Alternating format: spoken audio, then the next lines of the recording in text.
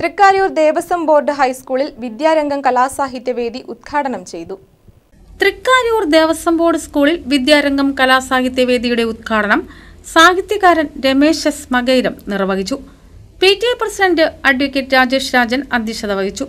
Sumesh Krishnan C S Rajalakshmi Drishya Chandravan Hemaji Kartha T S Greeshma എന്നിവർ പ്രസംഗിച്ചു.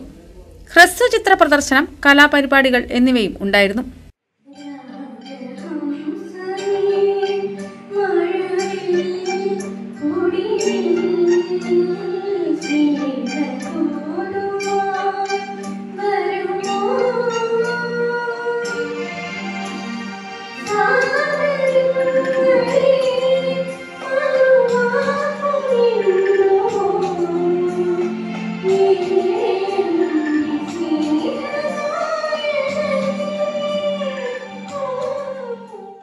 K C V news Thrikkaroor.